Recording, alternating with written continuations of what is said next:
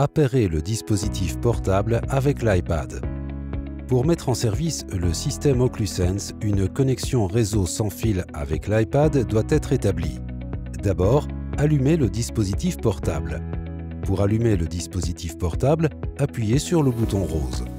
Le dispositif portable n'ayant pas de réseau sans fil préalablement configuré, il crée d'abord son propre réseau auquel l'iPad doit être connecté. Le nom et le mot de passe du réseau sans fil apparaissent sur l'écran du dispositif portable. Sur l'iPad, allez maintenant dans Réglages. Tapez sur Wi-Fi et activez-le. Tous les réseaux disponibles s'affichent. Sélectionnez le réseau OccluSense et entrez le mot de passe qui s'affiche sur l'écran de votre dispositif portable. Lorsque la connexion a été correctement établie, des barres d'état de couleur s'affichent sur l'écran de votre dispositif portable.